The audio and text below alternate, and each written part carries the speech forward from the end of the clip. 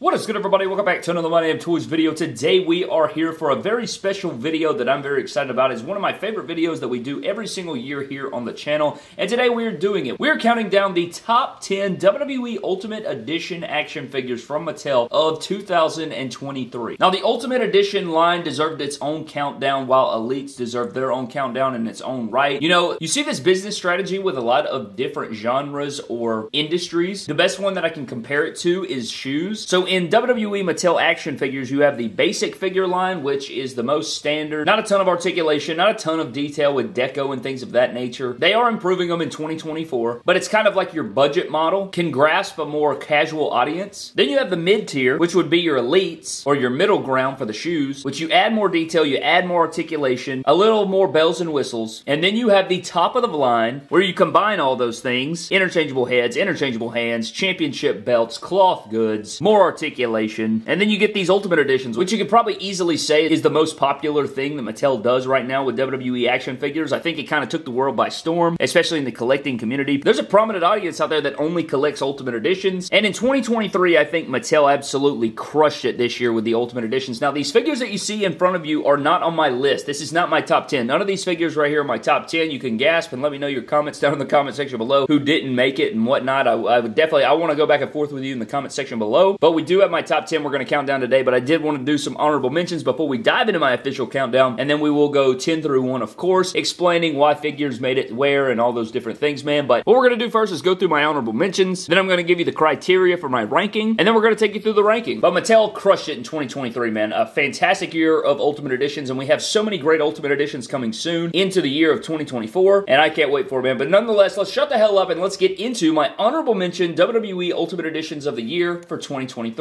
Starting out first, I'm going to go with Cody Rhodes. When we first saw this figure at the WrestleMania Superstore, we got to see it on display. I was so excited for it. I'm a big Cody fan. I love the look of this figure. I like the head sculpts. I like the cloth jacket. And while I was excited for this figure, I think the execution just wasn't top notch. I think the jacket's a bit loose. I think the color on the tights isn't as accurate. And I honestly, I'm not the biggest fan of this torso for Cody, I don't think. I think he would look a lot better with a Seth Rollins style torso. But I still want to give a huge shout out to Cody because this is a great figure. I do enjoy this figure, but it did not make my top 10. It may have been a number 11 or 12 this year. Next up is Razor Ramon, a fantastic figure. We do have a Scott Hall ringside exclusive 2-pack coming with Kevin Nash in 24. And he did have a Chase figure that I do not own yet. I have not been able to find it, haven't been able to locate it, haven't been able to do any of that. This figure, the Chase of this figure is probably going in the next missing figures video, but a solid addition. I think that it's solid. I don't like, mine has really loose like drop down hips and the legs are a bit weird, but I like this gear. I like the head sculpts. Oh man, we got to get into McDonald's All-American Bobby Lashley right here, man. The only guy that can really get away with the torso that they give this guy. You guys will also notice that Kurt Angle is not mentioned here in the honorable mentions. Will he make the top 10? You'll have to see, but I love the McDonald's gear. It really grew on me. It's a really good representation of Bobby Lashley, and it poses around well, and I want to give a shout out. I think it translates Bobby Lashley really, really well, so I want to give a huge shout out to the Ultimate Edition Bobby Lashley. We have the ringside exclusive two-pack Uso figures, the Jey Uso and the Jimmy Uso Ultimates. I have fixed mine up a little bit, but it remains to be seen. I want to give a shout out to these because I think they're fun figures, even though I don't really care for this leg mold and how stiff and pinless they are. Ultimate Edition John Cena feet, but with all the bells and whistles, these are really good looking figures, and I wanted to give a huge shout out to Ringside Collectibles. Use code MD Toys to save yourselves 10%, but huge shout out to them for the exclusive Usos. I think these are these are fine figures. I just think they could have been a little bit better, so they did not make my top 10 list. Another shout out to the Coliseum collection. We have the Rick Rude figure from the second edition, and I really like this kissing face and the torso that give this guy. We just got to get this torso on Cody Rhodes because I think it would work much better for him. I just don't like that torso they give him unless it's a different guy. But nonetheless, let's, let's get into it, man. The Rick Rude is a great figure. Really great representation of the character. Like the cloth goods. Like the kissing face. Rick Rude. And then we have a giant figure, man. Andre the Giant. Really slept on figure. Saw a lot of people turn this guy into Big Show. It's a great figure, man. Really good representation of Andre the Giant. He really towers over your collection. And, you know, he didn't make the top 10, but it's certainly a great addition. I've never even seen this or Seth Rollins at the retail space, so I don't know what's going on with all the Andre and Seth Rollins figures, but I can't find them. Nonetheless, I wanted to buy another one of these, but can't find it, man, so I, I don't know. Andre the Giant. And then for our last honorable mention, I want to give a huge shout out to this unique two-pack of the Undertaker and Gobbledygooker Ultimate Edition two-pack from Amazon. A very, very unique thing here with Gobbledygooker, like all the sculpts. I really don't care for the Gobbledygooker figure as much as I love the idea that they made him. So I like the sculpts. My arms pop out easily. He's not the best articulated. His feet don't really have any articulation whatsoever. They're kind of just a stand that these legs plug into, but it's certainly a wild addition. I wanted to give a shout to the Amazon exclusive. And then this Undertaker is a really cool representation of Undertaker in Ultimate form. Though we've seen many like this, I do like the face scan. I like the entrance code. And we've seen a lot of these things before, but I wanted to give a huge shout out to that two-pack. Now, with all of my honorable mentions out of the way, let's get into my criteria for my ranking of the top Ultimate Editions of 2023. Now, first of all, you have my excitement level for the figure. How hyped was I to get the figure? How, like, how excited does the figure make me when I have it in the collection, like, posing around? I'm like, damn, this is so nice. You have likeness to the character on my television. Does it portray the character from WWE TV that I see on a weekly basis or in videos or whatnot? How well does it feel in hand? How well does it pose around? Likeness to the character in terms of face scans and head sculpts and things of that nature. Body likeness also comes into a play, but this kind of ties back to just overall likeness to the character on television. And then you have bonus, which is like accessories, cloth goods, etc., etc. So, but with my criteria out of the way, shut the hell up, dive into the top 10 WWE Ultimate Edition figures of 2023.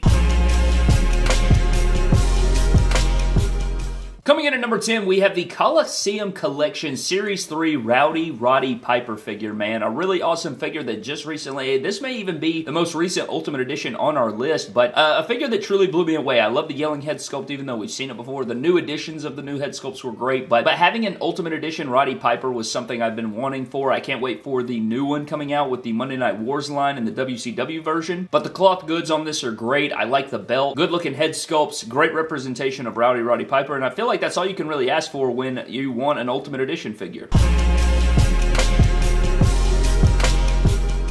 Coming in at number 9 is the San Diego Comic-Con exclusive for 2023 with the Muhammad Ali Boxer Edition Ultimate Edition figure. Now, this figure was a part of a two-pack. Two different Muhammad Alis in one generous pack. Got the referee version, got the boxer version. A very unique idea from Mattel, but I, at the beginning of this, when I first saw it, I thought it was a very unique thing, having a Muhammad Ali figure. I thought it was... I didn't think it was necessarily a questionable decision. I just thought it was a little bit outside the box, which they tend to do for San Diego Comic-Con exclusives. I just didn't really expect it, but I think the the execution of the figure was really great. I like the cloth robe. I like having this edition of Muhammad Ali. You know, I like Muhammad Ali. He was a fantastic legendary athlete. Great head sculpts, solid overall, really unique stuff going on with it, but we do have an elite coming of this in the Legends line. Will it be as good as this? I don't know, because you do have the addition of the butterfly joints and whatnot, but I like this edition. I really have had a lot of fun posing this guy around. At the number 8 spot is the Ruthless Aggression Ultimate Edition Walmart exclusive Brock Lesnar figure. Now, last year's top 10 Ultimate Edition figures, the modern Brock Lesnar took the number 1 spot. Now, this one had the potential, I guess, to, but I think he misses the mark in a few ways, which is why he's so low on the list compared to the rest of the countdown. But I just love how unique the Ultimate Edition Brock Lesnar figures are. There was something about that modern version that felt just so quality in hand. I really can't explain it. If you guys don't have that figure, you definitely need to add it. But this one's great as as well. The only thing that really hinders this figure is the head sculpts. I really wasn't a big fan of any of the head sculpts, but I like the cloth good shirt. I think it still represents him well. I love this unique body mold, the butterfly joints. He's just a beast, literally, in every sense of the word, pun intended. Beast of a figure, and I want to say how great this figure is. It represents the character from that time period really well. It's just he could have been a lot higher had he had some good head sculpts, but I still like the figure nonetheless. I just think that throwback Brock is a difficult thing for them to nail in the head sculpt department. Number seven is one of our Mattel Creations exclusive Ultimate Editions, and we're talking about the Logan Paul Mattel Creations exclusive figure. I really like the entrance jacket on this figure. It's got the Pokemon card necklace around the neck, which is cool. I'm not a big fan of the gear, though, I'll be honest. I just never, I don't like any of the gears that he's worn in WWE so far, and I'm not a Logan Paul guy, but this figure really is, I don't know, it just seems similar to that Brock Lesnar. It just seems like there was more effort put into this or something about it. I, I really can't explain it. Unique details. It feels really good in hand, can pose around with the best of them. I'm just not the big fan of a Logan Paul. I don't really care for the gear that much, but it's a really standout figure. I've, I've had a lot of fun posing the guy around and whatnot, but yeah, who doesn't want to just beat up Logan Paul in your collection?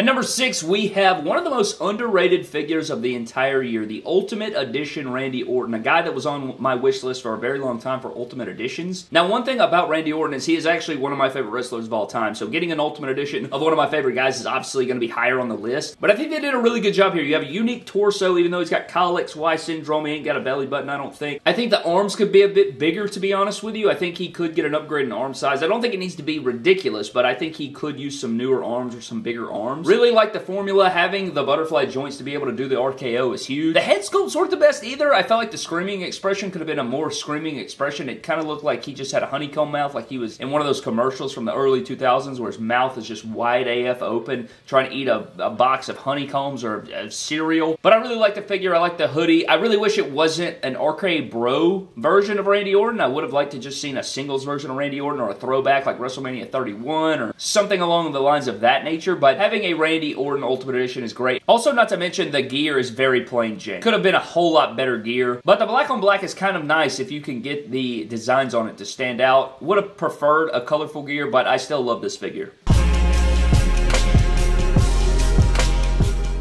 All right, man, getting into the nitty gritty, we're at number five. Now, a lot of people probably thought this figure was going to be in the top three, maybe even the top two, but the AJ Styles Ultimate Edition figure is so phenomenal with every pun intended. I think a lot of the things that kind of dropped this figure throughout the year, if you would, I think we did ranking every Ultimate Edition so far in 2023 back in October, or maybe it was August. I think it was August we did ranking every single Ultimate Edition WWE figure released in 2023 so far. And I think this figure did come in at number two. However, I think since the Elite 104 AJ Styles came out, it kind of pushed this figure back some. I think the figure is a little bit too tall. The skin tone's not accurate. He doesn't have chest hair, but the attire is fantastic. I love this attire. It's one of my favorite AJ Styles attires, I think, ever. The white is so crispy. The blue is so vibrant and nice. The head sculpts on this guy are ridiculous. The cloth goods is great. The hoodie is great. The more I say things out loud, the more I want to bump this guy up. But it remains to be seen. If this guy, if this guy had a better, uh, just a hair bit formula, the right skin tone, some chest hair, oh, it'd be unbelievable. It'd be unbelievable. If you did a torso swap with this in the Elite 104 with the correct skin tone, oh my god. I mean, uh, you're talking, oh man. And all those things put him in top five territory that we talked about, but I don't think he is in the top three scenario, which he would be if they were to fix a couple things. At number four, we have the Ruthless Aggression Ultimate Edition Walmart exclusive Rob Van Dam figure. This is an attire and a figure that we wanted for so very long, and very similar to Randy Orton. I like the stationary head sculpt or just the regular head sculpt with no expression like this one, but the yelling head sculpt I really wasn't a big fan of. I don't like the big knee pads, which is, you know, it's accurate that they're big. It's just something that stresses me out, but everything else is very great. I love the posability of the figure. It's a figure that really represents Rob Van Dam from that era. I love Rob Van Dam. He's very posable, like I said. A great moment in time. One that was on my wish list for a very long time. So getting a figure that's on my wish list, obviously the excitement level is going to be through the roof. He looks like the character on TV. He poses around well. The attire's clean. All of the above, man, this is a great figure, and I also like putting the signature hands on there. I don't like to pose the figures around because I really want you to see the full figure when I'm doing these top 10 countdowns, but I should put him in the Rob Van Dam chant or pose. But yeah, having an Ultimate Edition Rob Van Dam was a dream come true, and I really enjoyed this figure. I think the execution is very solid, and I think we can only build up from here. Now, I want to preface this with saying I thought this was a 2022 figure release, but I do believe it actually is a 2023 release. We're talking about the Mattel Creations exclusive Raw is War Attitude Era Ring Ultimate Edition Kane figure a true specimen of a figure, man. You want to talk about a figure that really captures the likeness and the build of a character? This Kane is ridiculous. The first release of Kane was really good as well. Now, this is sort of a repaint. They did sculpt a new upper chest on this guy, but this figure is very menacing. Now, it is a kind of a repaint. They did do some different things between this figure and the first Kane Ultimate Edition, but it doesn't really matter because this figure is such a great representation of Kane and how massive he is and how menacing he is that it just couldn't be left off the list. Growing up, a huge fan of Kane. This figure checks all the boxes. I love the glove sculpt and the hands, the arms, and you know, one thing that I always shred Kane Elites for is that they don't capture the build of Kane, but I think that the Ultimate Editions have really done a good job of capturing that and this one does no less. I mean, just look at this guy. He looks like he's going to beat the hell out of you. He looks like he could come alive and choke me out right now. Yeah, this guy's a beast. He comes in at number three.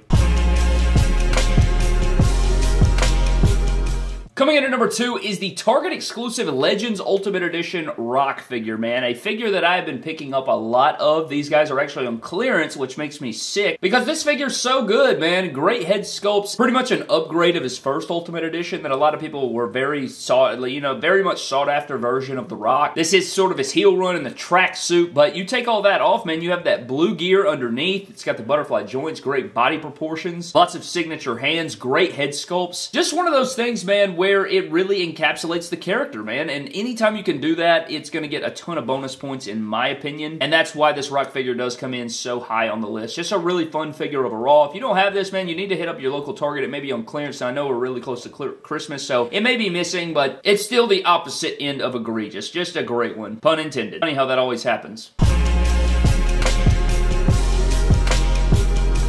And number one, we have the Ultimate Edition Seth Rollins figure, man. Now, I do know I have this custom championship on there that kind of completes the look, but this figure is just so good. It's everything I ever wanted out of an Ultimate Edition Seth Rollins. Now, is it my favorite gear of all time? No, but I still really like the gear. I think it's solid. Love the entrance robe. I mean, this entrance robe is one of the best things Mattel's ever done, I think, with the fur, the shininess, the way it flows. Now, until that Ultimate Edition Series 20 Asuka gets through the door, this is probably probably the top of the line when it comes to when it when it comes to robes and things of that nature. Ric Flair had some good ones. Charlotte had some good ones, and there's plenty of cloth goods that Mattel has knocked out of the water. But this one goes without saying. It's a great figure, man. Great head sculpts, great formula, very very posable version of Seth Rollins. Just a piece that really makes me happy when I look at it. And being a big Seth Rollins guy, that makes it more enjoyable as well. So that's another thing. And again, I always say this in my list videos. You know, my list isn't the right list. It's just my list. So I want to know all of your thoughts on my selections down in the comment section below. But I don't really know how you couldn't like this figure. Very posable, very good likeness, great formula, checks all the boxes, great character. It just fits all of my criteria, so I really had no issue whatsoever putting Seth Rollins at number one. But that is pretty much going to wrap up my top 10 WWE Ultimate Edition figures of 2023, man. This year, again, was such a great year of not only Mattel WWE action figures, but Ultimate Edition figures especially. And I cannot wait for 2024 as I know it's going to be another huge year. Plenty of Ultimates to come, brand new basics that are, that are apparently going to blow us away. A lot of Elite figures, just a ton of great things to come in the wrestling action figure space, but I appreciate every single one of you guys for the support this year. If you're watching this video, if you're a regular viewer, maybe you check in sometimes, maybe you're just more of a news guy, or maybe you just care about my list or reviews or whatever the case is, man, I just greatly appreciate all of your support. It means the world to me, and I just appreciate this community so very much for the support that you guys have shown me over the years and the memories that I've made and the friendships and the relationships, guys. You are incredible. But before we get out of here, another huge shout out to our Patreon members for their continued support as well. I appreciate every single one of you guys as well. This year was kind of a trial run for our Patreon. I plan for 2024 to really be the next stepping stone for those guys. So I'm really excited about that as well. But anyways, man, I look forward to next year's countdown as well. But I'm getting the hell out of here. I want to know down in the comment section below where you guys thought was the number one ultimate. Maybe what your top 10 are, top 5, top 3. I'd love to chime in down in the comment section below and have a little debate.